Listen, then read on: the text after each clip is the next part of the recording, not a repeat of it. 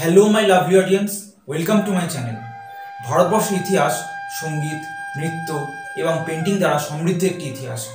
এগুলো ছাড়া ভারতীয় সংস্কৃতি অসম্পূর্ণ। আজ আমি ভারতীয় সংস্কৃতি থেকে তুলে আনা একটি প্রাচীন আর্ট ফর্ম মধুবনী পেন্টিং করে দেখাচ্ছি।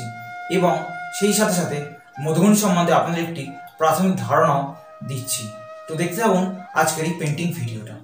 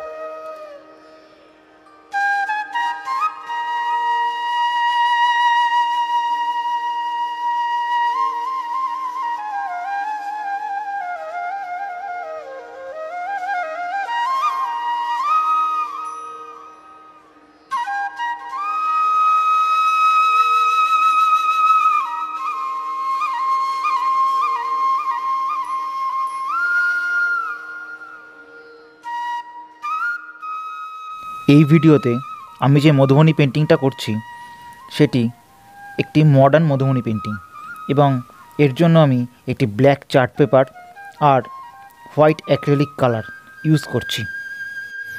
বিহারের দ্বারভাঙা পূর্ণিয়া, মুজফ্ফরপুর, মধুবনী এবং নেপালের মিথিলাঞ্চল মধুবনী পেন্টিংয়ের জন্য খুবই প্রসিদ্ধ অঞ্চল। প্রথম দিকে এই আর্ট ফর্মটি রঙ্গোলির মতন মানে কাঁচা বাড়ির দেওয়ালে বানানো হতো। কিন্তু সময়ের সাথে সাথে এই আর্ট ফর্মটি মাটির দেওয়াল থেকে কাপড়, কাগজ আর বর্তমান ফ্যাশন ওয়ার্ল্ডের প্রবেশ করেছে। যার ফলে মধুবনী একটা ইউনিক আর গ্লোবাল পরিচিতি পেয়েছে।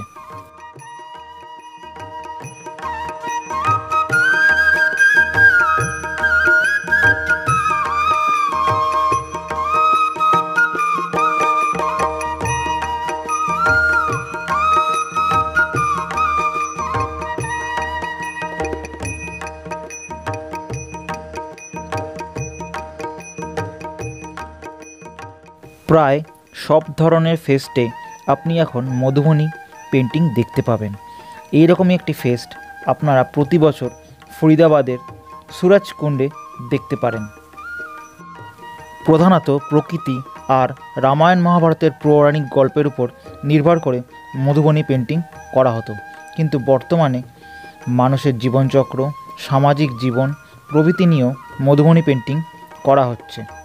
কথিত আছে এই আর্ট ফর্মটি প্রথম শুরু হয় রামায়ণের সময়। যখন শ্রীরামচন্দ্র সীতামাতাকে বিবাহ করতে গেছিলেন, তখন রাজা জনক তার রাজ্যের সমস্ত মহিলাদের বাড়িতে দেওয়ালে এই পেন্টিং করতে বলেছিলেন, যাতে অযোধ্যা থেকে আগত মানুষরা মিথিলার শিল্প সংস্কৃতি, জনজীবন নিয়ে অবগত হন।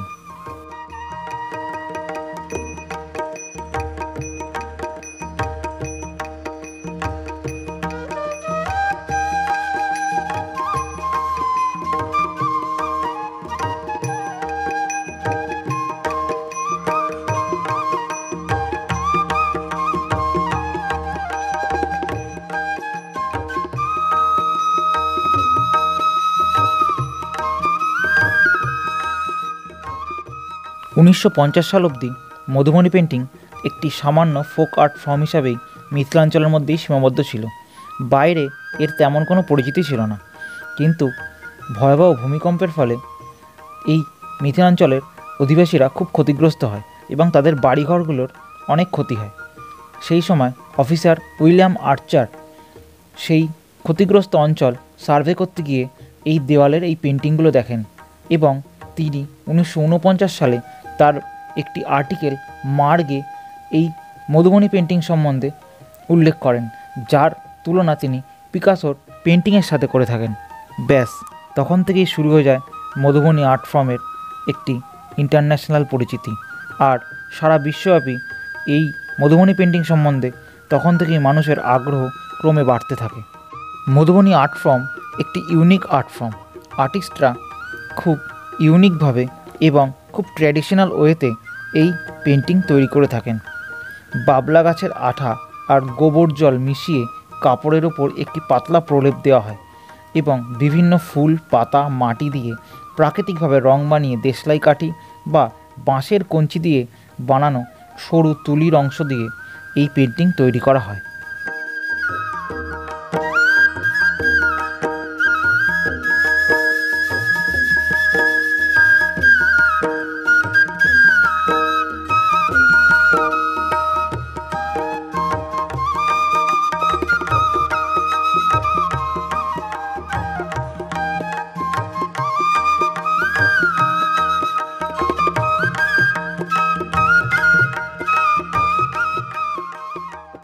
মধুবনী পেন্টিং মূলত পাঁচ রকম স্টাইলে ড্রয়িং করা হয়।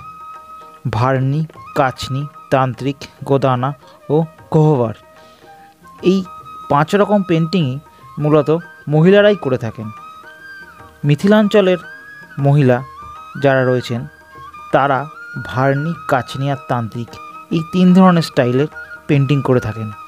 বহু বছর পর দুসান নামে এক দলিত গোষ্ঠীর মহিলারা গোদানা ও কোহভার এই দুরকম স্টাইলের উদ্ভব করেন।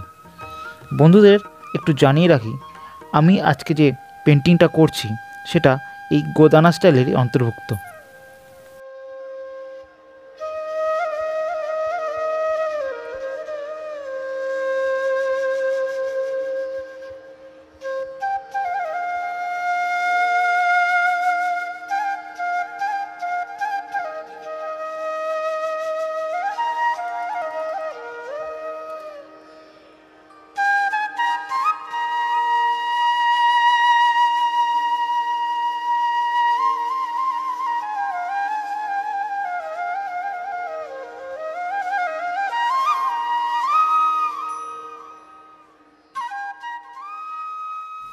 মূলত ভারতীয় মহিলারাই মধুবনী পেন্টিংকে সমৃদ্ধ ও প্রসিদ্ধ করে তুলেছেন। সেরকমই কিছু মহিষীদের নাম উল্লেখ না করে এই ভিডিওটি অসমাপ্ত থাকবে। সীতা দেবী জগদম্বা দেবী, মহাসুন্দরী দেবীদের নাম উল্লেখ করলাম, যারা পদ্মশ্রী পুরস্কারে ভূষিত হয়েছেন তাদের মধুবনী পেন্টিংকে সমৃদ্ধ ও প্রসিদ্ধ করার জন্য।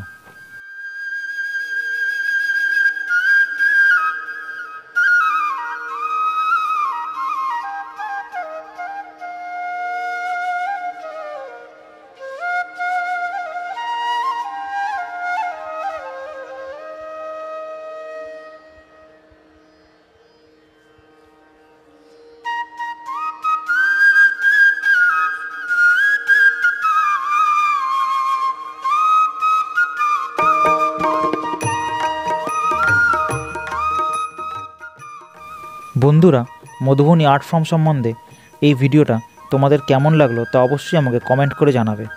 যদি ভিডিওটা ভালো লেগে থাকে, যদি ভিডিওটা হেল্পফুল মনে হয়, তো অবশ্যই লাইক শেয়ার করে দিও। আর যারা আমার চ্যানেলে এখনও নতুন আছো, ভিডিওটা প্রথম দেখছ, তারা অবশ্যই আমার চ্যানেলটাকে সাবস্ক্রাইব করে বেল নোটিফিকেশানটাকে অল করে দিও। তাহলে বন্ধুরা, দেখা হচ্ছে আগামী একটি পেন্টিং ভিডিওতে ততদিনের জন্য নমস্কার।